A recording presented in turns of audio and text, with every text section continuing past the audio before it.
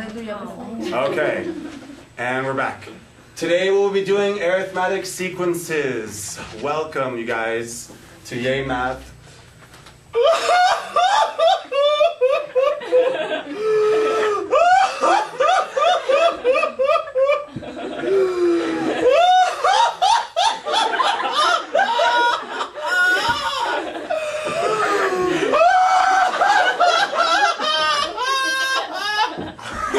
It's too good.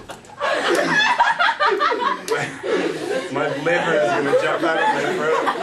My vision's blurry right now. Hello. okay. All right. Uh, yay math. Yeah! Sorry, that was the last one. okay. okay. Thank you. That was good. Very good. Sure. Uh, arithmetic sequences. Let's jump right into it. And uh, what we're going to do, that was a demonstration.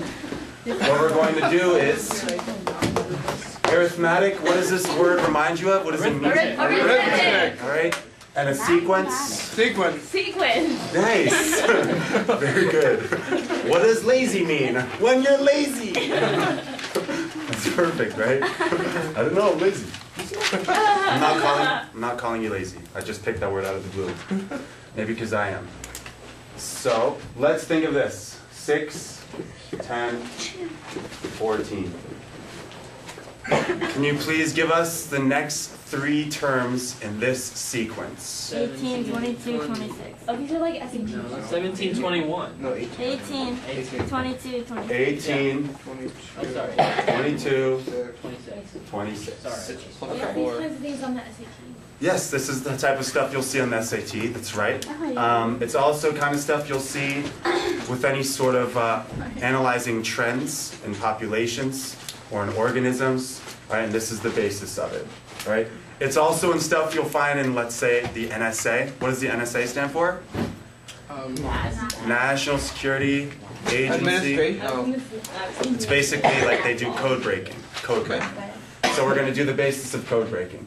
So, but this simple, simple example is basically saying that this is a sequence, and it's it progresses with addition or subtraction. All right, that is what an arithmetic sequence is. It's a sequence that progresses with addition or subtraction, and that's what we're going to do today. All right, let me take this off. Okay, so let's write the problem. Write this problem. Okay, so like this. No, you didn't make. That was the problem, yeah, right?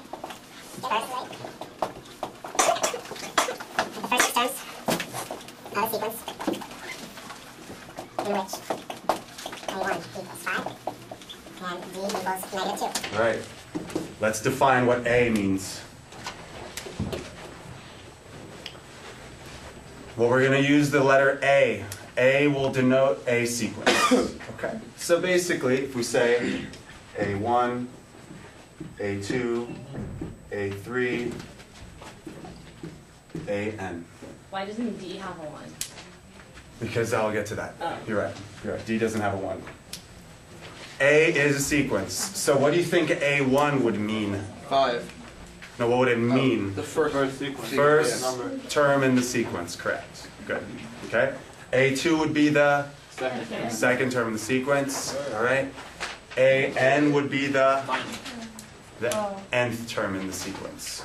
The nth term, right? So um, if you wanted, excuse me, the eighth term, still choked up. I feel better now. If you want the eighth term of the sequence, that would be A8. Right? If you want the hundredth term, that would be A100. First term like that. Okay? So they're asking for the first six terms. So wouldn't it be A1 through A6? Yeah. Okay, let's do that. A1 through A6. All right, let's actually take this down and add to it.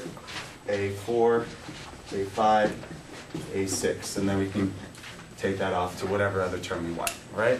This sequence, supposedly, it goes on forever, right? Unless we put a cap on it. In this case, the first six terms. A1, you said it, is what? Five. Five. Okay. D, anyone can uh, think what the letter D means? It's actually, what it stands for, it actually means the difference. So Oh. there's a wild stab in the dark, we'll see. It's the difference between each term. Oh, Okay. okay. So D in the previous problem was 4 because it was adding 4 every time. D in this problem is going down by 2 each time. Five, three, one, So 5, go ahead. three, one. 3, everyone together. Three, one. 1, Negative Negative one. negative 1. Negative three. Three. Negative five. Problem solved. Winner, winner, chicken dinner. Wait, okay. 21. Yes. Is this the first term of the sequence? Yeah. Okay. And the difference between each term, that's what the letter D means. Oh. So then stand by, Miss Eraser. Ready? Wait, I'm not. Yeah, yeah, write it down, write it down. So I'm just telling you stand by. And so the difference between each term is that we jump negative 2 to each one. So this is an arithmetic sequence in which the difference between each term is negative 2, right? Really, really important that we understand this all right now because it's going to get harder. Yes? What would be the answer? Like, Okay, good. Good question. Write the first six terms of the sequence. okay, so you wouldn't have to do the, the whole A thing? No, no, I'm just demonstrating what A means, right? But the answer would be in the black here. Oh, so you're right, since it's five, so, so the A says how many numbers there are gonna be, and D says like the, the The space, difference. yeah. A is the, the sequence itself, and D is the difference, and this is the answer. This is the first six terms of the sequence. Okay? All right, everyone. The, uh, the fantastic dandy DeLion eraser is back. Of course. All right, so uh, do your thing. Creeping brain, creeping brain, creeping brain, creeping brain, creeping brain, creeping brain, creeping brain, creeping brain. That was great. Creeping brain.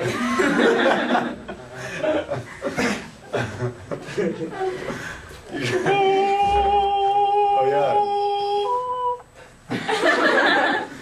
All right, you'll have another chance. You'll have another chance. I expected more of a heavenly light to enshroud. Wait, okay. Okay. Now. Now we have our first formula.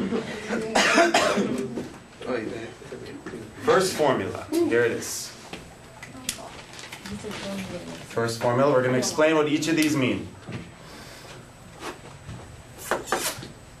This formula will give you the nth term, meaning any term you want of any sequence. That's why this formula is very powerful. So remember the first example, 10, 14, right? 16, remember that one? I'll just jot it up here. Yeah, except not. Remember that? Yeah. It wasn't, Uh, what was it? it was six, ten, Oh yeah, fourteen, 18, right? Yeah, yeah, 10, 14, 18. What if I asked you for the hundredth term? Would you want to really keep adding Yeah. plus four, plus four, plus four, plus No. four? And you probably wouldn't. Probably wouldn't. Many people in the SAT end up doing that, right? You end up doing that. Oh, I. Plus four, plus four, plus four, a hundred times on the calculator. Maybe enter, enter, enter, enter, enter, right? Oh my god, I've- got me on the SAT. I've done that. Yeah, I did I've done that for that. sure. This formula will give you the hundredth term. Oh. This formula will give you the hundredth term, okay? So let's go ahead and do it. This would be, if I wanted, let's say, the hundredth term, Yeah. This would be a 100, right? Yeah. What was the first term in this sequence? We already know it. This is the first term, 10 plus. How many terms in the sequence again? 100. 100. N is 100, right? 100 terms in the sequence. Minus 1. Are we Minus, using? And it's four, right? What does this have to do? Times four. minus 1, and then, and then times 4, right? The difference is positive 4. So we'll put that down. All right, now this will give us the 100th term in the sequence. Okay? And we'll do it with the, uh, we'll, we'll practice this one again. So 10 plus 100 minus 1 is 99. 99 times 4. So basically it's 396. 396. Plus 10. 396 plus 10. Uh, is four. 406. There you go. 100th term in the sequence, 406. Cool, huh? Check it. And then you can check it, right? You can check it. Let's do an example that's easy, more easily checked. I. Let's find this. Find we want, Ten. let's do eighth term. Eighth term of an arithmetic sequence. Alright. A eight. All right, wait, and wait, A1, excuse me, A1 equals 4, and D equals negative 7. Okay? So first, let's understand the question. We want the eighth term of a sequence that starts with 4 and progressively goes down by negative 7 every time. Very easily done on the calculator. Let's try it with the formulation. So Here we go. four plus So let's do the formula. A what? A Eight. A8 equals four. Four. equals 4 Plus plus eight minus one 8 minus 1 times negative seven. times negative 7. Pause here. Questions so far?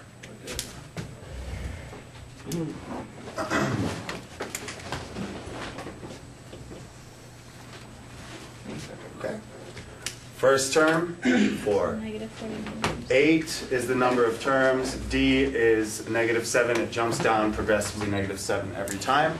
And so we go, 4 plus Negative forty-nine. 7 times negative 7, that's right. 4 plus negative 49 is Negative Forty-five, negative forty-five. forty-five. negative 45. Yeah. And you guys want to check verbally now?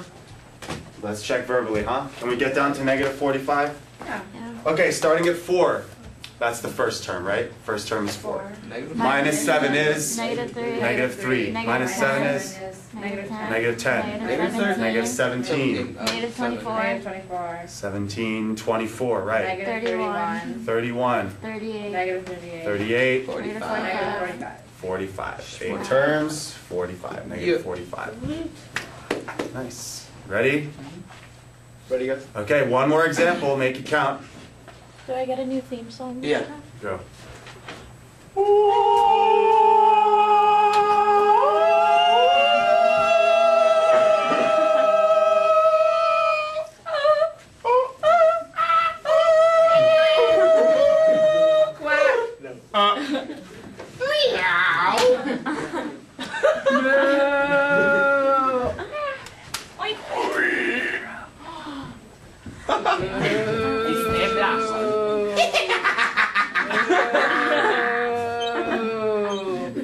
Arithmetic, it's E, cow. It's E, don't worry, I got it. Arithmetic. Remember to back up. Back it.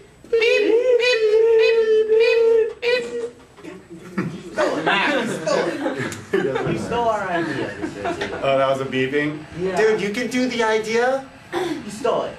Okay, do it with me. Beep, beep, beep, beep, beep. I was stole it again. Okay, last problemo. Got me, This is an arithmetic sequence having how many terms? Five. Five. We're genius. Yes. This is an arithmetic sequence having five terms in which the first term is what? Ten. Wow. A Uh, equals We're ten. geniuses. And I'm good at this. This is an arithmetic sequence having five terms, and the first term being 10, and the last term being what? Negative six. No way, I'm actually right. Good job. Ah! But how do Okay. you know it's negative? I'm giving it to you. Oh, but people said it. I know. What number? They said it after I wrote it. Oh, okay. You guys are heads are down. How do they know? Yeah, I was like, wow, it's like it. Negative four. It's like a- So, this is an arithmetic sequence with 10 and negative 6, right? It's a, it's a, it's a easier example. Let's solve for these three terms using the formula. Okay. Using the formula, let's solve for these three terms. I'm saying it's arithmetic first and last, so let's put the formula down. AN equals A1 plus N minus 1 D. So A two then, if you want that. Wouldn't it be No, the. AN is A5? Okay, so A5. What is A5, if you want to do it? Uh, A five is negative Negative The six. six. value of A5 is negative Negative 6. six. Can we just try it out? I don't get that. So let's right here, let's do this, A5. Equal. equals A1. That's it, let's just do it like that here. I'll, I'll change that one thing. Huh? Oh. I'll change it to five. And this should be five then. This should be five, right? Okay, so that's an intermediate step, but let's jump into it. A5 we know is Negative negative six equals. Oh, I see. A1, do we know it? Yeah. Yeah, Uh, yes. 10 plus Five. n is 5 in this case. Yeah. 5 minus 1. Four. D, do we know yet? No. No. But we're solving for D. We're solving for D. So it's gonna be four plus. Okay, so negative 6 equals 10 plus Negative four. Four. plus 4D. Three negative four. 10 plus 4D. What do you get the four? Oh. 5 minus 1 times D. Minus so minus 10. 10. Minus 10 Minus Negative 16 is equal to 4D. 4D. Negative divided- 16. Negative 4. equals 4D. D equals negative 4. How does this help us? Because it goes down Goes by down the four. negative Goes down 4 every time. So it's six, Hallelujah. two, 6, negative two. negative 2. Probably. Yeah. Yeah. Not so bad, right? No, not at all. Not bad at all. We're going to do three more lessons like this. Three more lessons. The other lessons are the first one was the arithmetic sequence. Then we're going to do arithmetic sums, meaning what is the sum of the first five terms in a sequence? Oh. Ooh. Ooh la la. Then we're going to do geometric sequences in which you progress by multiplying every time. And then we're going to do geometric sums in which what is the sum of a sequence that is multiplied from one to another. So it's going to get pretty Oh, no. intensive. Oh, So- intensivado. Be ready. Last time, ready? Everyone say. Please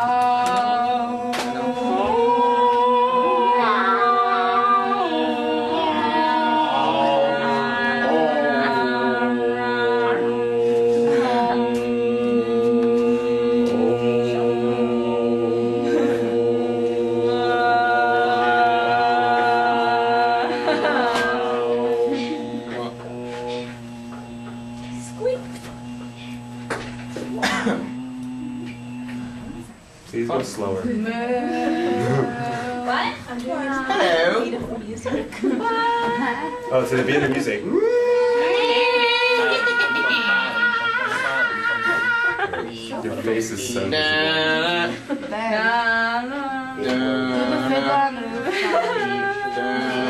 Thank you. Give yourselves applause. Okay, you can hit it. Bye. Say bye, everyone. Bye. Bye.